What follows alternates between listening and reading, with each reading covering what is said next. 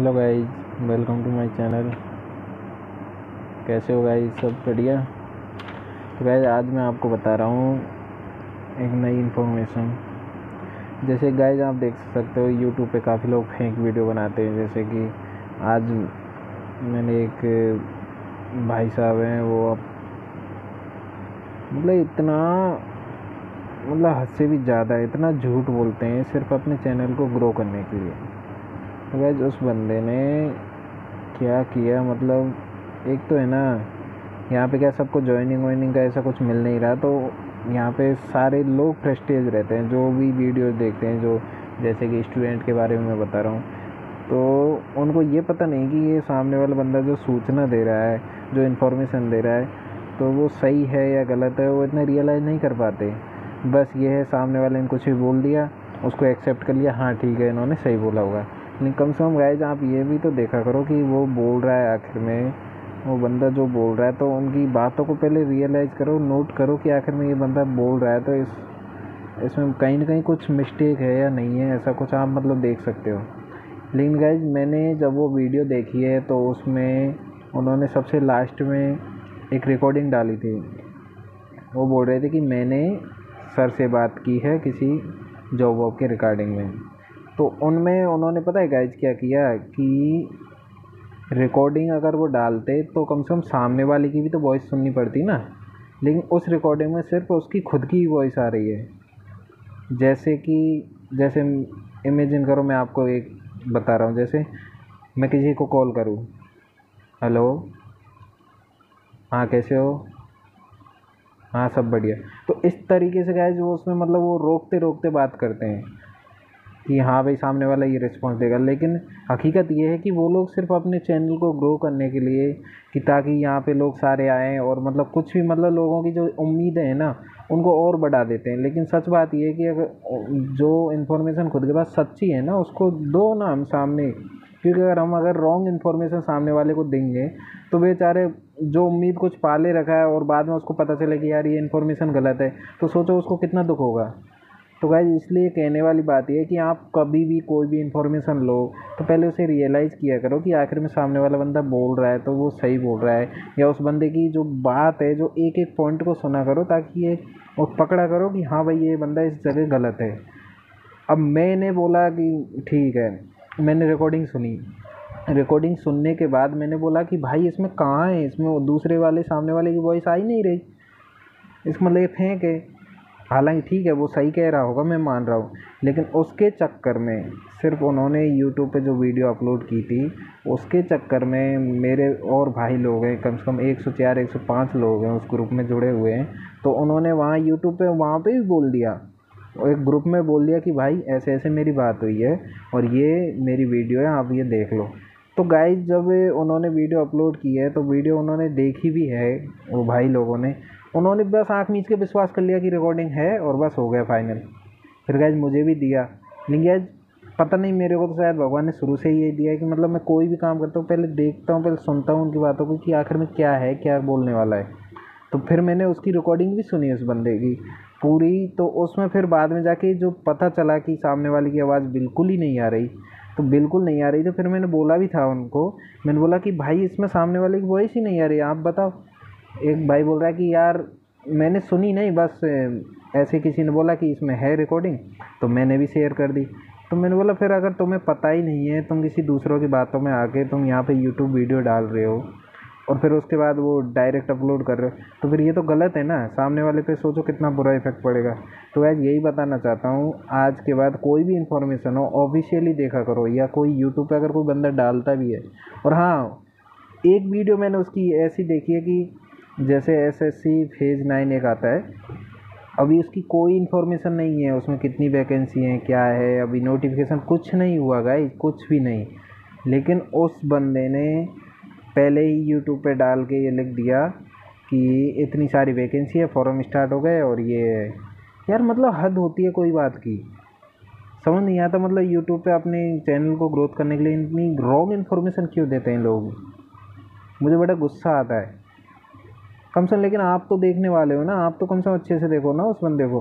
क्या बोल रहा है? आप किसी कोई वीडियो को देखो, कम से कम उसको सही से देखो। कोई वो इन्फॉर्मेशन वाली, चलो ठीक है, एक प्रैंक एक मज़ाक वाली वीडियो वो अलग बात है। उसमें झूठ भी बोल सकता है, चलेगा।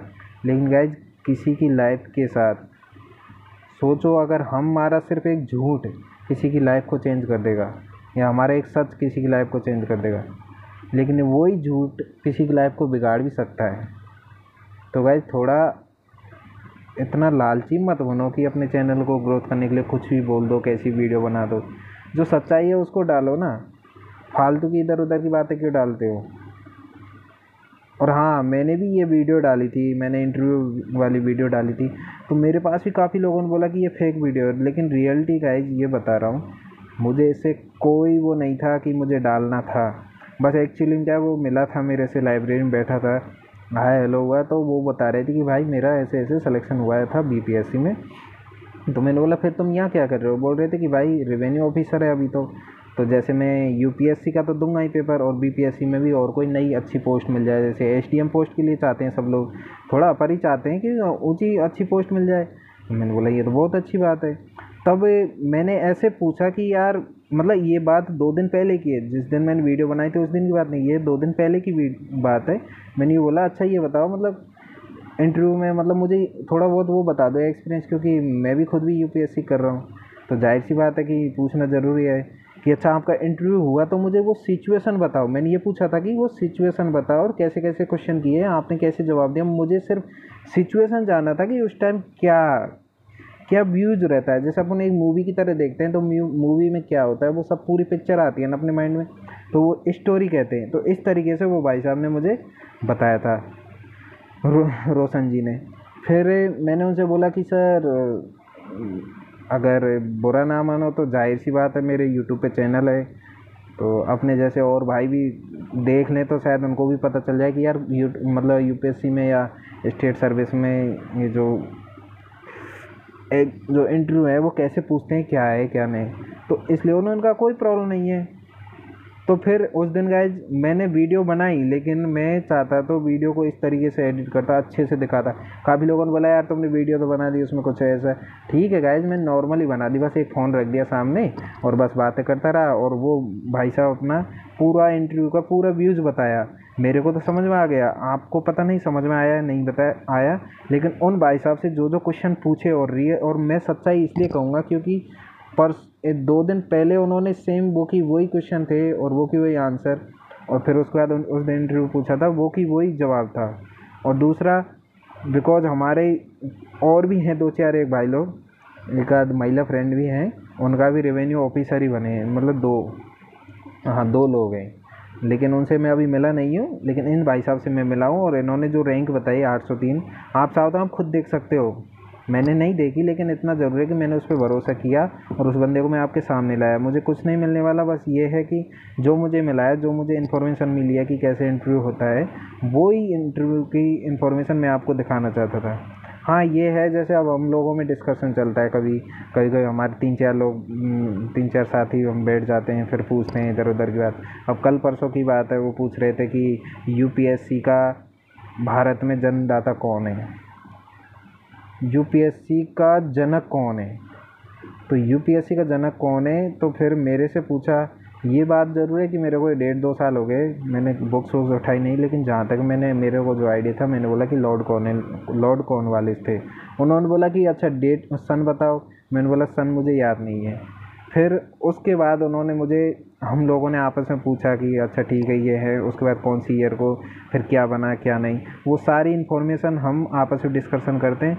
हाँ किसी दिन मैं चाहूँगा तो देखता हूँ, किसी दिन कोई डिस्कशन होगा, हम चार पाँचों में तो मैं उसको वीडियो बना के आपके यहाँ डाल दूँगा कि हमारा डिस्कशन ग्रुप कैसे चलता है। और गाइस जब तक डिस्कशन नहीं करेंगे, चाहे आप कितना भी पढ़ लो, चाहे आप कितने भी पेजेज में कितने नोट्स बना लो, कुछ नहीं होने वाला, कुछ भी नहीं। पढ़ाई करो, पढ़ाई के अलावा कुछ नहीं है और डिस्कशन करो। बस ये माइंड को अपने आप को माइंड को ये फोकस करो कि सामने वाला जो भी बोल रहा है, कम से कम उस चीज़ को तो नोटिस करो। सामने वाला बोल रहा है कि वो ठीक बोल रहा है, जो इन्फॉर्मेशन है, बस वो इन्फॉर्मेशन आप कलेक्ट सही करो। क्योंकि आजकल एक रॉन्ग इन्फॉर्मेशन पता है आपको है ना? कहाँ की कहाँ पहुँचा देती है, पता नहीं, किसी को पता नहीं। सीरियसली बोल रहा हूँ, आज मुझे वीडियो इसलिए बनानी पड़ी बिकॉज़ आज ऐसा ही हुआ कि क्या बताएँ? मेरे पास है रिकॉर्डिंग उसकी यूट्यूब पे चैनल है यूट्यूब पे उसने रिकॉर्डिंग डाली लेकिन मैं नहीं चाहता कि उस पर उसे एक्सपोज करूँ। बट ये है कि आपको बस यही बताना चाहता हूँ कि कोई भी हो, एक नहीं, और भी हो, बहुत लोग होते हैं, काफ़ी लोग रॉन्ग इन्फॉर्मेशन देते हैं। जैसे कि आप देख लो यूट्यूब पे भी काफ़ी मूवीज़ हैं, जैसे साउथ की मूवीज़ हैं। नाम कोई और आता है थंबनेल कोई और लगाता है और वीडियोज़ कोई और डाल देते हैं। कुछ भी मतलब पता नहीं हो क्या रहा है यार लोगों को मतलब इन्फॉर्मेशन कम से कम हमारे, तुम्हारे पास इन्फॉर्मेशन नहीं है तो मत डालो ना वीडियो लेकिन चलो, उनकी कोई गलती नहीं है, वो तो पागल बनाते लेकिन अपन तो पागल नहीं बने ना। क्यों ऐसे लोगों की, क्यों मतलब उसको हा करते हो? वही पे कमेंट में लिख दिया करो, भाई तुम ये गलत बोल रहे हो। या फिर देखो मत। या फिर देखो तो भुगतो ऐसे लोगों को। अब देखो ना, हमारे साथ वाले सच कह रहा हूँ, किसी ने यूँ नहीं बोला कि ये सही है यार। मैं खुद ही बोल रहा हूँ कि भाई ये गलत है, ये गलत है गलत है। क्या करें? बाद में जवाब ये आता है, वो अपना काम कर रहा है, तुम अपना काम करो हमारा काम करें। क्योंकि लोगों को सुनना ही यही है। वैसे मुझे लगता नहीं कि आज की जनरेशन में कोई अनपढ़ हो। और जो यूट्यूब जो वीडियो देख रहा हो, जो मोबाइल चला रहा हो, जहाँ तक है, वो तो पढ़ा लिखा है कम से कम ही। तो उनको तो मतलब थोड़ा बहुत अपना माइंड को यूज़ करो। ठीक है, ये माइंड को एंटरटेनमेंट की कोई भी वीडियो देखो या कॉमेडी देखो, कुछ भी देखो, उनमें कोई दिक्कत नहीं है। वहाँ माइंड मत चलाओ, वहाँ कुछ भी बोल देते कोई प्रॉब्लम नहीं। कम से कम आप इन्फॉर्मेशन की जो वीडियो देख रहे हो, उनको तो सही से नोट करो। वो बोल रहा है, उसको सही नोट करो। तो गाइज़ यही कहना चाहता हूँ। बाकी थैंक यू सो मच मैं ये नहीं कहूँगा कि ऐसे ऐसे, लेकिन कम से कम जो इन्फॉर्मेशन है उनको एक बार नोटिस किया करो गाइज़ जो कोई भी हो। इन्फॉर्मेशन अगर अपने पास ठीक होगी तो आगे बढ़ेंगे, वरना रॉन्ग इन्फॉर्मेशन अपन को कहाँ की कहाँ ले जाती है, पता नहीं। किसी को कोई पता नहीं है भाई। Okay thank you so much bye मिलते हैं नेक्स्ट वीडियो में।